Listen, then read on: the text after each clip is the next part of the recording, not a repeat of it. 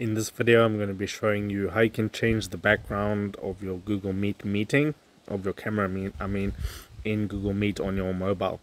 So go ahead and open up Google Meet and then you see a button at the bottom right it says new. Click on to new and then you simply click on create link.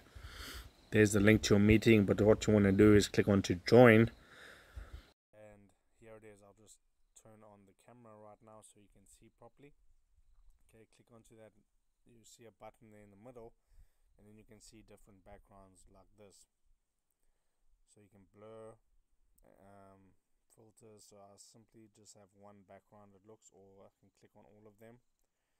Okay see if this loads up. So you can see there's a new type of background right now and what you can do is present like that. Okay but the button I was talking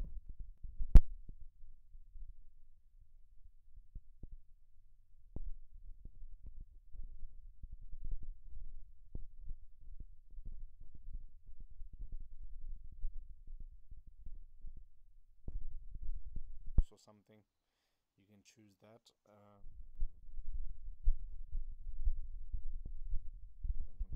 that one is you'll just simply click on to join.